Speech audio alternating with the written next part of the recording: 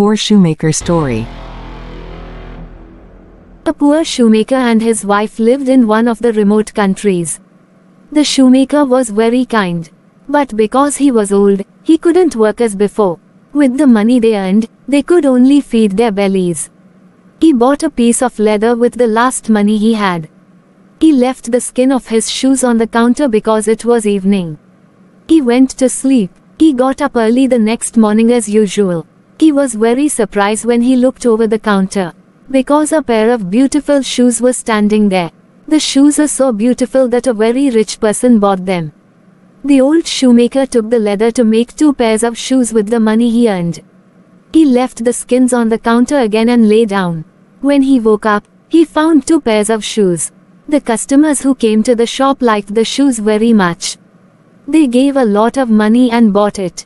With the money he earned, this time he bought four shoes. When she got up in the morning, the shoes were ready. Days passed like this. The old shoemaker became rich. But he wondered who did this favor to them. One day to his wife, I am very curious about who helped us. I want to thank them. So let's hide tonight. Let's see who helped us secretly at night too, his wife said. That night, they left the skins on the counter again. They started waiting quietly. At midnight the door opened. Two little men came in.